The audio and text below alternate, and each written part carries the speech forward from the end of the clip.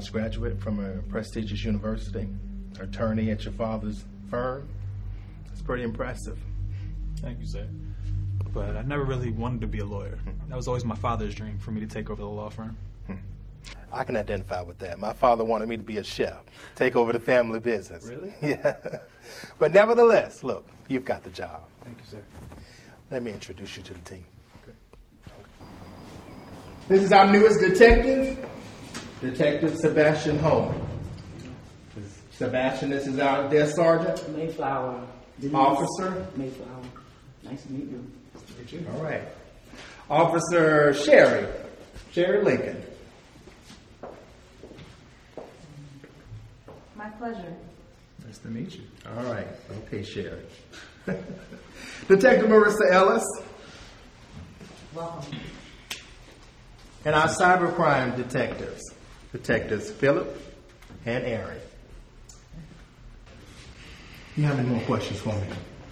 Just when do I start? Monday. Appreciate it.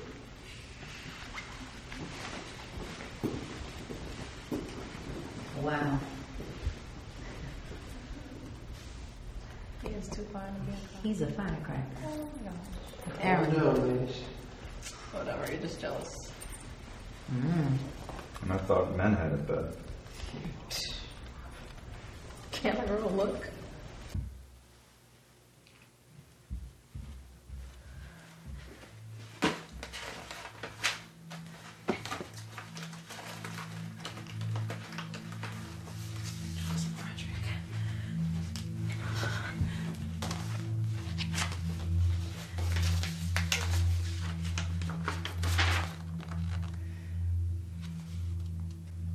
Attorney found dead.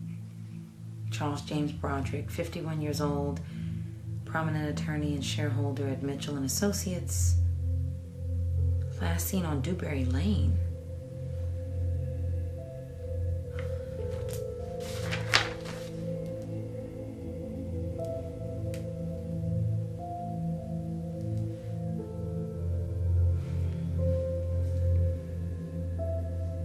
Shallow Falls Sheriff Department, Lieutenant Sheehan speaking. Lieutenant Sheehan. How are you? Long time no hear from, Marissa. And it's Bobby. You know, I was going to call you later this week and check up on you. You're so sweet and very thoughtful. Well, how's the rest of the crew? Everybody is well. Aaron was just upgraded to a walker, so. Well, that's awesome. Hey, have you found any new leads on Natalia's case? Because Jamie and I were planning a trip up there next week. Well, I don't know anything about it myself, but, you know, I, I think the sheriff had a few leads on it. I'll just transfer you over to him. How about that? That would be great. Thanks, Bobby. All right. Good talking to you. Likewise. Sheriff Jacobs. Got Marissa Ellis on line one. Hello, Marissa. I was going to give you a call this morning in regards to Natalia's disappearance. Got an anonymous phone call last night regarding somebody who said they saw her at the Shadow Falls Diner before she made her disappearance. I'm happy to hear that. I'm so glad that someone finally came forward. It's been six months. Chief Jacobs, do you know a man by the name of Charles Broderick? Charles Broderick. Yeah, I remember that. Uh, Charles Broderick. Yeah, he was a prominent lawyer and ran three successful businesses. I came across his case file the other day. I think he may have something to do with Natalia's disappearance.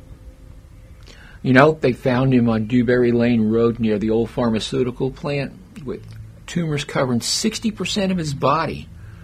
And the autopsy report showed he died of cancer. And strange because they were, he was healthy as an ox.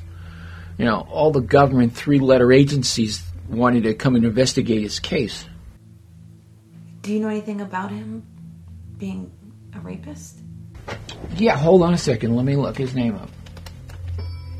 Yep, here it is. He was accused a couple of cases of uh, accusing him of rape. It was nothing conclusive. Uh, Gracie Mason and Cindy Gilardi. Uh, his case was kind of swept under the rug. Marissa, you still there? Yeah, I'm sorry. I was just trying to multitask. That's all right. You got any more questions about Natalia? No, thanks for asking. All right, we'll see you soon, Marissa. You take care now. Bye.